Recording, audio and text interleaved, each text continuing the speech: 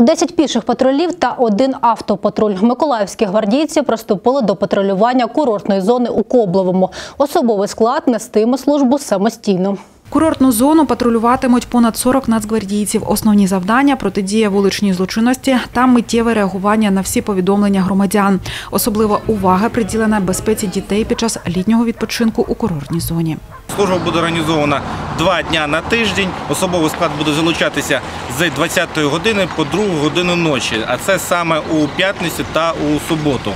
Чого саме такий час? Е, В зв'язку з тим, що іменно саме цей час йде погіршення оперативної обстановки, можливо, вчинення е, правопорушень на місцях несення служби.